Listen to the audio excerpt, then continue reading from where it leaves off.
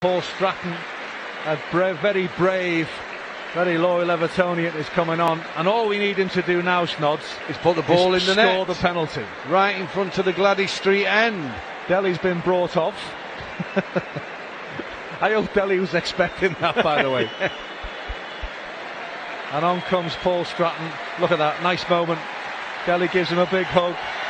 And Paul Stratton, a very, very brave Evertonian, comes on. He gets clapped by the Gladys Street, he gets clapped by all four sides, and he gets clapped by both sets of players. Come on, Paul. Come on, Paul. Back of the net. He didn't know he was going to do this. Did he not? Do you know what? I bet he's nervous, you know. But he's nervous. Yeah.